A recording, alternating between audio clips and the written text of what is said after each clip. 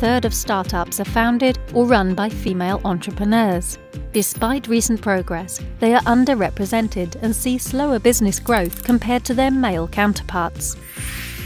Small businesses and entrepreneurs are vital to prosperous cities. They generate jobs and create diverse communities. Removing barriers facing female founders will drive greater inclusive growth. The Allia Future Business Centre and the British Library Business and IP Centre are local organisations helping female founders start, run, and grow their businesses. Women have the same business challenges as men. We want to help even more people, and JP Morgan is enabling us to do that by taking our service, our people, and our expertise out to the public libraries of 10 London boroughs. We create a programme of events, a space, an environment, and a network where women can feel really comfortable. Rowena takes part in the British Library programme and is the founder of the clothing boutique Revival Retro.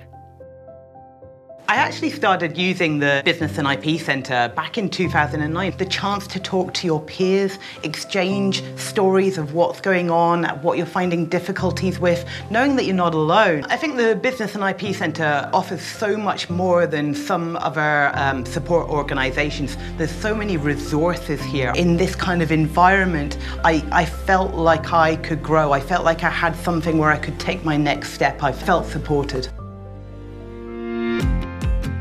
Allia as an organisation is very geared towards diversity and inclusion and supporting underrepresented founders. We've essentially got four different innovation centres across the UK. The centre in East London, based in Hackney, is largely in partnership with JP Morgan and what we're trying to do here is, I guess, foster a very sort of entrepreneurial and, and startup ecosystem and, and make venture support accessible to the local community within East London.